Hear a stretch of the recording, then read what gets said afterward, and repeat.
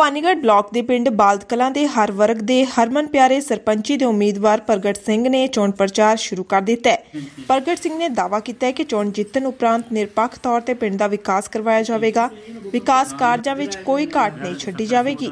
ਉਨ੍ਹਾਂ ਆਖਿਆ ਕਿ ਪਿੰਡ ਵਿੱਚ ਲੋਕਾਂ ਦੀ ਸਹੂਲਤ ਲਈ ਐਂਬੂਲੈਂਸ ਪੱਕੇ ਤੌਰ ਤੇ ਉਪਲਬਧ ਰੱਖੀ ਜਾਵੇਗੀ ਤੇ ਲੋਕਾਂ ਦੇ ਪ੍ਰੋਗਰਾਮਾਂ ਲਈ ਪਿੰਡ ਵਿੱਚ ਮਿਨੀ ਪੈਲੇਸ ਦਾ ਵੀ ਨਿਰਮਾਣ ਕਰਵਾਇਆ ਜਾਵੇਗਾ। ਉਹਨਾਂ ਲੋਕਾਂ ਨੂੰ ਅਪੀਲ ਕੀਤੀ ਕਿ ਵੱਧ ਤੋਂ ਵੱਧ ਵੋਟਾਂ ਨਾਲ ਉਹਨਾਂ ਦੀ ਜਿੱਤ ਯਕੀਨੀ ਬਣਾਉਣ ਤਾਂ ਜੋ ਉਹ ਲੋਕਾਂ ਨਾਲ ਕੀਤੇ ਆਪਣੇ ਵਾਅਦੇ ਪੂਰੇ ਕਰ ਸਕਣ। ਆਜ਼ਾਦ ਟੀਵੀ ਨਿਊਜ਼ ਦੇ ਲਈ ਭਵਾਨੀਗੜ੍ਹ ਤੋਂ ਬਿਊਰੋ ਰਿਪੋਰਟ। ਪਿੰਡ ਦੇ ਵਿੱਚ ਜੀ ਬਹੁਤ ਕੰਮ ਰਹਿ ਗਏ। ਸਕੂਲ ਦਾ ਸਾਡਾ ਇੱਕ ਤਾਂ ਖਸਤਾ ਹਾਲਤ ਹੈ। ਸਟੇਡੀਅਮ ਵਗੈਰਾ ਕੰਮ ਕਾਫੀ ਨੇ ਨੌਜਵਾਨਾਂ ਵਾਸਤੇ ਜਿਹੜੇ ਕਰਨ ਵਾਲੇ ਨੇ। ਉਹਦੇ ਕਰਕੇ ਅਸੀਂ ਜਿਹੜਾ ਉਮੀਦਵਾਰ ਹੈ, ਨੌਜਵਾਨ ਹੀ ਚੁਣਿਆ। ਤੇ ਵਧੀਆ ਕੰਮ ਕਰਨ ਵਾਸਤੇ ਇਮਾਨਦਾਰੀ ਨਾਲ ਤੇ ਧੜਕ ਬੰਦ ਹੈਗਾ ਸਾਰਿਆਂ ਚੋਂ। ਇਹਨੂੰ ਜਿਤਾ ਰਹੇ ਹਾਂ ਸਾਰੇ। ਤੇ ਬਾਕੀ ਸਾਨੂੰ ਪੂਰੀ ਆਸ ਹੈ ਵੀ ਜਿਹੜੀ ਪਿਛਲੀ ਪਾਰਟੀ ਬਾਜੀ ਬਣਾ ਕੇ ਪਿਛਲੇ ਸਰਪੰਚ ਨੇ ਬਹੁਤ ਪਿੰਡ ਦਾ ਬੁਰਾ ਹਾਲ ਕਰ ਰੱਖਿਆ ਉਹਦੇ 'ਚ ਅਸੀਂ ਪਿੰਡ ਨੂੰ ਬਾਹਰ ਕੱਢਾਂਗੇ ਤੇ ਸਾਰਾ ਸਾਂਝਾ ਕੰਮ ਚਲਾਵਾਂਗੇ, ਮਤਲਬ ਸਾਰਿਆਂ ਦੀ ਰਾਏ ਨਾਲ ਚੱਲਾਂਗੇ। ਸਾਰੀ ਹੋਣ ਵਾਲੇ ਜੀ ਵਧੀਆ ਕੰਮ ਕਰਾਂਗੇ ਜੀ, ਸਾਰੀ ਰਲ ਕੇ ਉਹ ਕਰਾਂਗੇ ਜੀ ਠੀਕ ਹੈ? ਹਾਂ ਸਰ, ਮਤਲਬ ਸਾਡਾ ਜਿਹੜਾ ਕੈਂਡੀਡੇਟ ਹੈ, ਇਹ ਮਤਲਬ ਨੌਜਵਾਨ ਅਸੀਂ ਚੁਣੇ ਹੈ। ਇਹ ਸਾਰਿਆਂ ਦੇ ਸਾਂਝੇ ਉਮੀਦਵਾਰ ਹੈ। ਅਸੀਂ ਕਈ ਮਤਲਬ ਵੱਖ-ਵੱਖ ਜਿਹੜੇ ਧੜੇ ਨੇ, ਉਹਨਾਂ ਦੇ ਇਕੱਠੇ ਹੋ ਕੇ ਮਤਲਬ ਇਹਨਾਂ ਦਾ ਸਪੋਰਟ ਕਰ ਰਹੇ ਹਾਂ। ਤੇ ਬਾਕੀ ਸਾਡੇ ਜਿੱਥੇ ਤੱਕ ਸਾਡਾ ਉਦੇਸ਼ ਹੈ, ਸਾਡੇ ਦਿਲ ਦੇ ਵਿੱਚ ਮਤਲਬ ਇਹ ਗੱਲ ਹੈ ਵੀ ਅਸੀਂ ਧੜੇਬੰਦੀ ਤੋਂ ਤਾਂ ਉੱਠ ਕੇ ਤੇ ਪਾਰਟੀ ਵਾਈਜ਼ ਤੋਂ ਤਾਂ ਉੱਠ ਕੇ ਪਿੰਡ ਦੇ ਵਿੱਚ ਸ਼ਾਂਤੀ ਮਾਹੌਲ ਬਣਾਉਣ ਬਣਾਉਣ ਲਈ ਤੇ ਪਿੰਡ ਦੇ ਵਿਕਾਸ ਲਈ ਅਸੀਂ ਮਤਲਬ ਕੰਮ ਕਰਾਂਗੇ। ਨਾਲ ਗ੍ਰਾਮ ਸਭਾ ਦਾ ਅਸੀਂ ਪ੍ਰੋਗਰਾਮ ਲੈ ਕੇ ਚੱਲੇ ਹਾਂ ਵੀ ਨਾਲ ਦੀ ਨਾਲ ਅਸੀਂ ਮਤਲਬ ਸਕੂਲ ਦਾ, ਪਹਿਲਾਂ ਸਾਡਾ ਹੈਲਥ ਦਾ ਫਿਰ ਸਕੂਲ ਦਾ।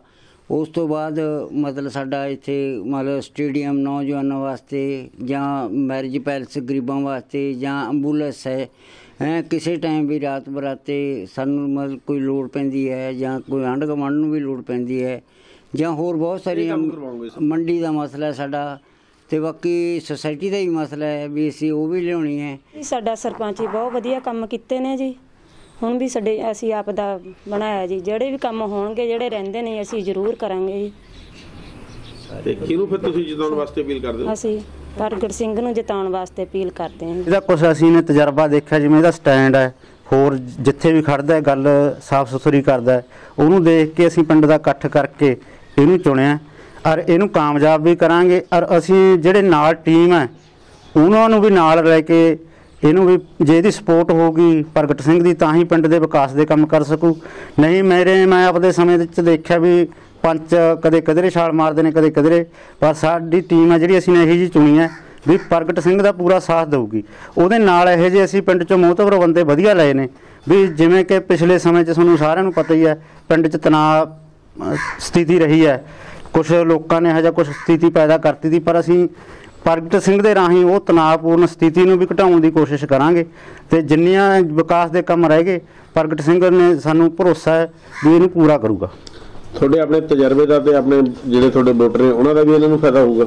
ਬਹੁਤ ਜ਼ਿਆਦਾ ਸਾਨੂੰ ਸਪੋਰਟ ਮਿਲ ਰਹੀ ਹੈ ਜੀ ਜਿਹੜੇ ਅਸੀਂ ਲੋਕਾਂ ਦੇ ਕੰਮ ਕੀਤੇ ਨੇ ਉਹਨਾਂ ਦੀ ਸਪੋਰਟ ਦੇ ਕਾਰਨ ਸਾਨੂੰ ਉਹ ਸਾਨੂੰ ਵੀ ਅਮਰੀਕ ਸਿੰਘ ਜਥੇਦਾਰ ਆ ਮੈਂ ਆ ਹੋਰ ਸਾਡੇ ਨਾਲ ਜਿਹੜੇ ਮੋਹਤਬਰ ਬੰਦੇ ਜੁੜੇ ਨੇ ਉਹਨਾਂ ਨੂੰ ਸਾਰਾ ਉਹਨਾਂ ਦੇ ਨਾਲ ਮਿਲ ਕੇ ਸਹਿਯੋਗ ਨਾਲ ਸਾਰਾ ਕੰਮ ਹੋ ਰਿਹਾ ਜੀ। ਪਹਿਲਾਂ ਵਾਹਿਗੁਰੂ ਜੀ ਖਾਲਸਾ ਵਾਹਿਗੁਰੂ ਜੀ ਕੀ ਫਤਿਹ। ਤੇ ਮੈਂ ਧੰਨਵਾਦੀ ਹਾਂ ਸਾਰੀ ਨਗਰ ਦਾ ਜਿਨ੍ਹਾਂ ਨੇ ਮੈਨੂੰ ਇਸ ਲਾਇਕ ਸਮਝਿਆ ਕਿ ਮੈਂ ਸਰਪੰਚੀ ਦੀ ਚੋਣ ਲੜਾਂ।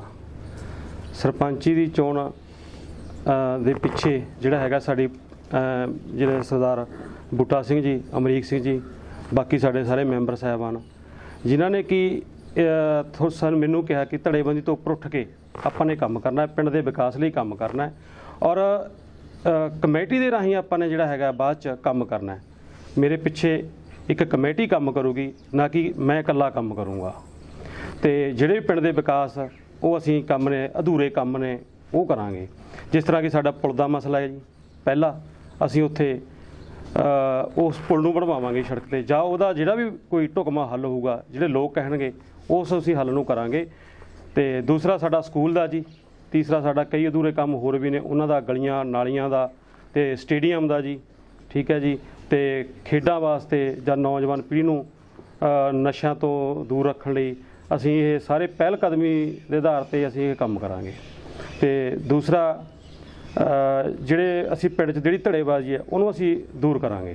ਤੇ ਇੱਕ ਗ੍ਰਾਮ ਸਭਾ ਨੂੰ ਵੀ ਅਸੀਂ ਬਣਾ ਕੇ ਉਹਦੇ ਰਾਹੀਂ ਅਸੀਂ ਕੰਮ ਕਰਾਂਗੇ। ਤੇ ਗ੍ਰਾਮ ਸਭਾ ਦੇ ਨਾਲ ਨਾਲ ਚੱਲੂਗੀ, ਜਿਵੇਂ ਵੀ ਬਾਕੀ ਲੋਕਾਂ ਦਾ ਫੈਸਲਾ ਹੋਇਆ ਕਰੂਗਾ, ਅਸੀਂ ਉਹਨੂੰ ਸਿਰ ਮੱਥੇ ਮੰਨਿਆ ਕਰਾਂਗੇ। ਤੇ ਜਿਹੜਾ ਵੀ ਕੋਈ ਕੰਮ ਕਹੂਗਾ, ਉਹਨੂੰ ਅਸੀਂ ਸਹਿਮਤੀ ਨਾਲ ਤੇ ਪਹਿਲ ਦੇ ਆਧਾਰ ਤੇ ਅਸੀਂ ਜਿਹੜੇ ਪਿੰਡ ਦੇ ਵਿਕਾਸ ਦੇ ਕੰਮ ਕਰਾਂਗੇ। ਤੇ